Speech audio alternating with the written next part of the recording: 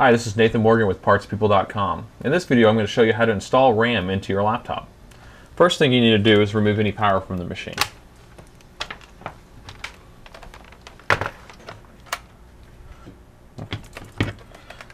Most laptops have an access door on the bottom of the laptop.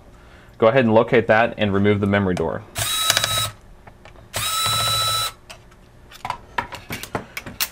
Sometimes you may have an existing memory stick in here that may need to be removed. What you need to do is you need to pull out on the tabs and then pull the stick out.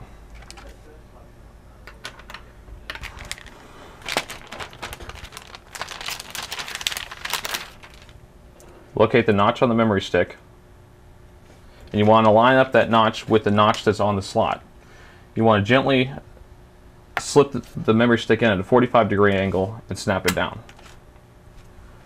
Now replace the memory door that you had removed previously.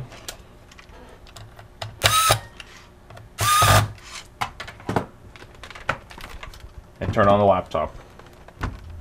There's no software or any uh, firmware modifications that need to be made, so you can just turn the laptop on, and that's it. This is Nathan Morgan with PartsPeople.com.